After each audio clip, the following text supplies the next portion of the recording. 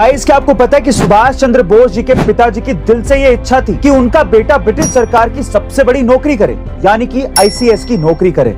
और इसीलिए उन्होंने इस एग्ज़ाम की तैयारी करवाने के लिए सुभाष जी को लंदन भी भेजा था, जहाँ नेताजी ने केवल सात महीने की कड़ी मेहनत में सभी अंग्रेज़ों को पछाड़ते हुए आईसीएस के एग्ज़ाम में फोर्थ रैंक हासिल की थी।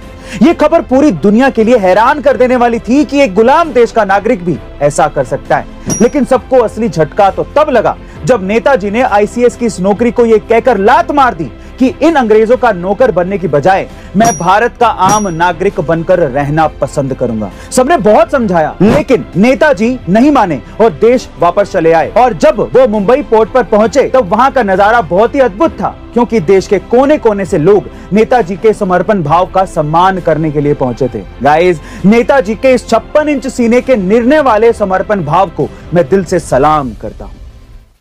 अंतरिक्ष में शहर बसाने का सपना देख रही इंसानी दुनिया के लिए एक बेहद अच्छी खबर है। वो क्या है? अमेरिकी अंतरिक्ष एजेंसी नासा ने पहली बार अंतरिक्ष में शिमला मिर्च पैदा करने में सफलता हासिल की है, जो अब तक के सबसे चुनौतीपूर्ण स्टेशन प्लांट प्रयोगों में से एक है।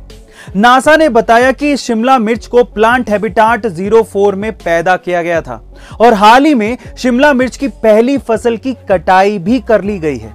इस शिमला मिर्च को वहाँ मौजूद अंतरिक्ष यात्रियों ने एक शानदार टाकोज डिश में बनाकर उसका आनंद लिया। गाइस, क्या आप भी अंतरिक्ष में जाकर इस शिमला मिर्च को खाना चाहेंगे? कमेंट सेक्शन में ज़रूर लिखेगा और ऐसे अमेजिंग वीडियोस के लिए शेयर सब्सक्राइब एंड लाइक मिलते अगली वीडियो में।